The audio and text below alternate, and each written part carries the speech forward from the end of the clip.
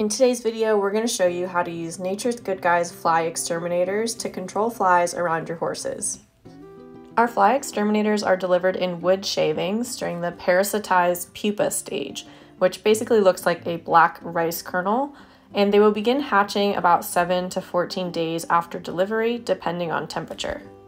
As you can see in this clip, they are really teeny tiny, and the pupa don't actually change in appearance after hatching, so if you want to witness hatching before you do your release, just keep them inside on your kitchen counter or somewhere that you will check it every single day.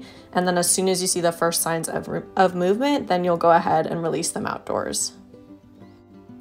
The way they work is actually by targeting the larval stage of various fly species, not the adult flies that you might see buzzing around your horses. Because of this, you want to start your applications as early as you can once the weather starts warming up and you need to continue to do applications routinely throughout the spring and summer.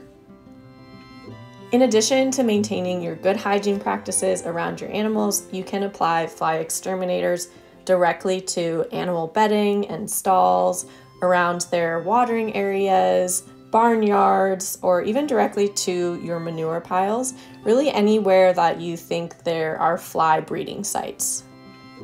Release rates can be found on our website and also on the instructions that come with your fly exterminators.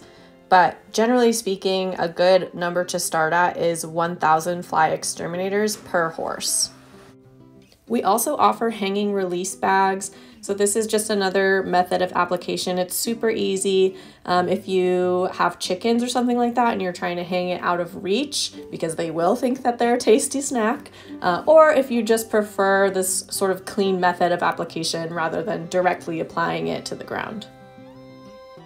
Check out our other videos as well as our website, naturesgoodguys.com, for more information on fly exterminators and other beneficial insects.